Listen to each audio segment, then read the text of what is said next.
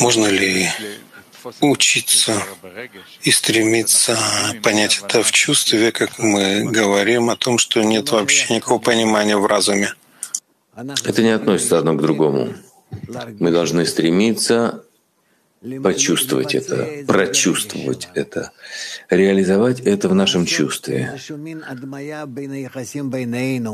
создать э, некую модель в отношениях между нами.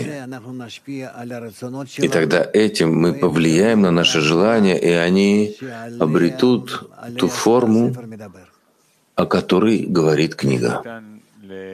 Как можно ощутить чувство, когда читаешь э, без того, что ты связываешься умственно с, с текстом. Соединись, постарайся соединиться. Твое желание, оно определяет. Но как делать это в такой форме, чтобы это было так более глубоко, а не просто читать то, что, что даже не входит прямо тебе в ухо. Из твоего усилия почувствовать это, понять это, реализовать это в связи между вами. А относительно Творца молитва.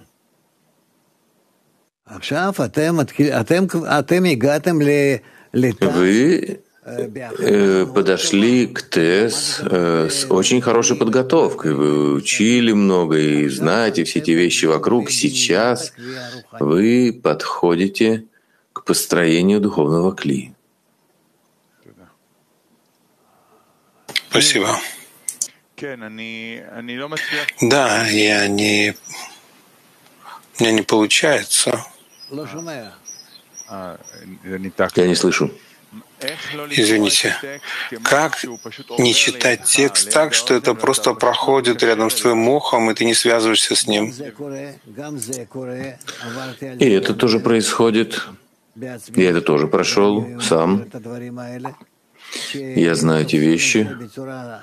Когда воспринимают это чисто в разуме, так умозрительно, и нет выбора, так каждый. Есть такие, кто сразу чувствует или хотят почувствовать.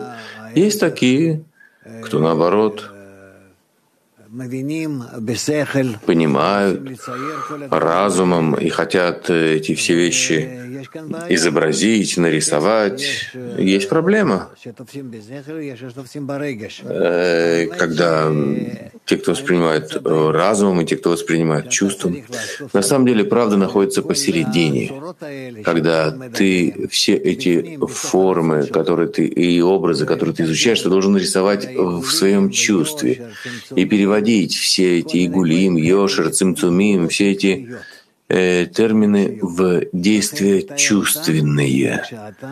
Поэтому представляй их, как ты выражаешь их со своими товарищами. Поделать это действие я должен каким-то образом связаться с текстом, понять его, постараться нет, ты должен стараться соединиться с текстом и э, видеть в тексте и реализовать то, что э, пишет текст в отношениях со своими товарищами и с Творцом.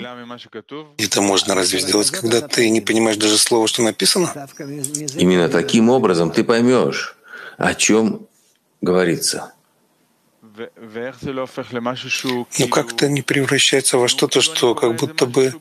Ну, я что-то читаю, которое вообще даже не на, на языке, который вообще не понимаю на этом языке ничего. Так дают маленькому ребенку ложечку там с чем-то, и он пробует. И тогда ему объясняют, что это. И он помнит вкусы и помнит, это вкусно ему или нет. И, соответственно, с этим мы начинаем умнеть, исходя из того, что мы собираем вкусы и так продвигаемся. Это называется уже постижение высшего мира, когда ты входишь как бы в новое место, и тебя Тебя учат вкусом. То есть что происходит в этом новом месте? Спасибо. Главное — постараться производить действия по отдаче между товарищами. Из этого вы начнете ощущать, о чем говорится, что называется отдачей, что может быть выше моего желания получать и так далее. Вот эти различия, эти определения — это главное, они раскрывают глаза —